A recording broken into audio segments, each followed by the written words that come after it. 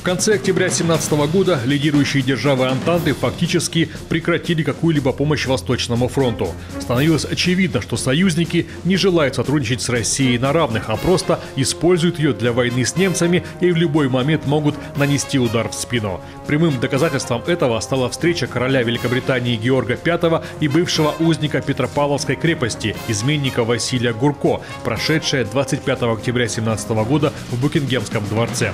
Зимний дворец оставшийся без поддержки союзников, в это время готовился к сдаче Петрограда немцам. И 25 октября началась эвакуация из столицы правительственных учреждений. Параллельно с ней правительство планировало вывести из города на Неве гарнизон. Этот шаг был встречен протестом со стороны солдат и офицеров Волынского полка. Петросовет тоже не был заинтересован в сдаче столицы германским войскам, поэтому 25 октября его исполком принял решение организовать для обороны города военно-революционный комитет. В тот же день положение о создании ВРК принял Северный областной съезд Советов, причем его делегаты отметили, что одних только комитетов недостаточно для спасения России. Страну может защитить только переход всей государственной власти к Советам. До него оставалось 13 дней.